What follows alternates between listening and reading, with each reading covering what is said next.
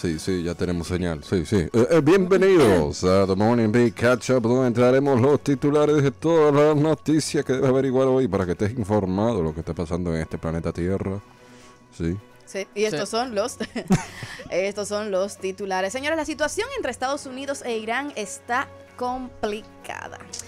Trump amenazó a Irán de atacar 52 sitios en el país si actúa contra Estados Unidos.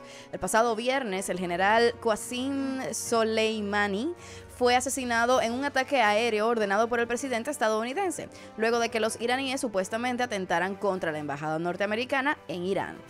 Soleimani era el segundo hombre más poderoso de Irán, la cabeza de los Quds, una división de la defensa iraní que se encargaba de operaciones especiales e inteligencia militar, por lo que se debate en el mundo que esta acción de Trump desate una supuesta tercera guerra mundial.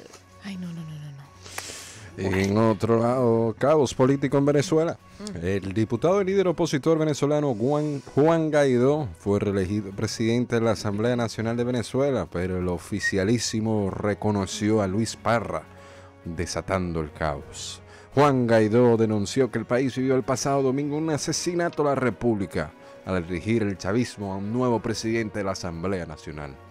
A su vez se hizo trend un video donde Guaidó intentaba entrar al Parlamento de Venezuela a la fuerza, subiendo por una reja, mientras la policía negó por completo su entrada. ¿Qué está pasando en el mundo, eh? Eh, Bueno, me imagino que muchos se han enterado. Australia arde en llamas. Qué fuerte. El 2020 inició con la triste noticia de que debido al cambio climático y la gran ola de calor, ha provocado incendios forestales enormes. Bomberos se han hecho frente a las llamas cerca de Whitfield, en el estado australiano de Victoria, donde el fuego amenaza áreas residenciales cercanas tras arrastrar 15 hectáreas de tierra. Cerca de 500 millones de animales han muerto en el país desde que comenzaron los incendios. Dios mío. El verano australiano recién comienza y no se esperan mejoras de las condiciones climáticas, por lo que se estima que los incendios continuarán probablemente hasta marzo. Qué Wow. triste. Esto horrible. Bueno, y cambiando de tema, un superhéroe transgénero será introducido en el universo Marvel. El presidente de Marvel Studio, Kevin Feige, fue inven- eh, invitado como orador en un evento de la Academia de Cine de New York, en donde dio una charla sobre las aspiraciones que tiene el estudio sobre las películas. Después se dio una sesión de preguntas y respuestas en donde aclaró varias dudas de los asistentes. Durante la sesión confirmó que en las próximas cintas de Marvel, según eh, aún no se sabe cuál exactamente, pero se cree que pueda ser la nueva entrega de Thor. Tendrá un personaje transgénero. Aseguró que es una película que está filmando en la actualidad. Y además de esa reveladora noticia, discutió sobre la plataforma de Disney Plus. Que. eh, Plus, ¿verdad? Ujú. Sí, pero Disney Plus, ajá que ha sido la sensación del 2019 y promete muchas cosas nuevas en 2020. Bueno, Oh, wow. vamos a ver. Y por otro lado, hablando de plantas, Tailandia abre su primera clínica de cannabis y medicina tradicional. Oh, Oh, wow. es legal allá.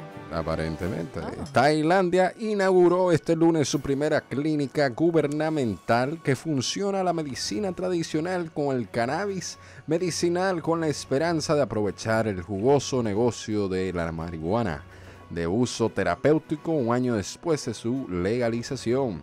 El ministro de Salud declaró, luchemos por una mejor salud de los tailandeses y por mejores oportunidades económicas. Hmm, Win-win. Sí.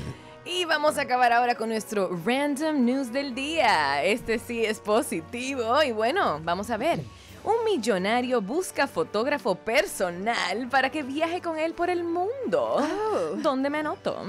Vamos a ver, se trata de Matthew Lepre, un millonario y empresario australiano de 27 añitos que está buscando un fotógrafo personal para que viaje con él por el mundo y le saque fotos para su cuenta de Instagram a cambio de un salario anual de 55 a 1000 a dólares, según lo anunció en su cuenta de Instagram. Lepre es fundador de Ecom Warrior Academy, ofrece un trabajo a tiempo completo y busca candidatos que tengan pasaporte, obviamente, un teléfono inteligente y tiempo para viajar de un lugar a otro del mundo. Pam, ya tú sabes. Ay, ay, ay. Según Anótate. este empresario, todos los gastos relacionados con transporte y alojamiento correrán por su cuenta. Y el fotógrafo puede llevar a un amigo en los viajes. ¿Qué? Pero Dios mío, ¿dónde es que me dónde es que eso no se anota aquí? Y bueno, nada, la identidad del ganador se anunciará el 31 de mayo del 2020. Oh, pero- ¡Wow! Eso está épico. Si no, eh, faltó eso, faltó eso. ¿Dónde que uno se ¿Dónde exacto? Queremos saber. Digo, yo no podría, pero es válido soñar. En fin. Te eh, lleva amiga, esa es tu amiga. Tú, tú puedes llevar una amiga o un amigo. bueno, señores, pues nada, hasta aquí el Cachu. Ya estamos informados de todo lo que acontece en el mundo mundial. Y cuando regresemos, es momento de recordar algo Oh. que ya no está o está muy leve en el presente. Eh, Sí, porque creo que hay algunos lugares que lo tienen todavía. Era si una vez viene por ahí.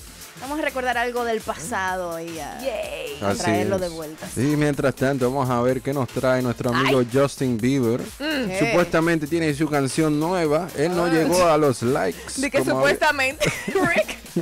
It's true, Rick. Bueno, es verdad, es verdad. Es Salió. nueva canción. Y vieron el video, no, de ¿no lo vieron? pero no de Navidad. No, No, no, se llama. Yumi. Yumi. Ya. Déjanos saber qué tú Yumi. piensas de esta canción en las redes sociales a Money Beats en uno. Vamos a poner un poll, pero mientras tanto, escúchala, dale check it out y disfrútala. Dale para allá.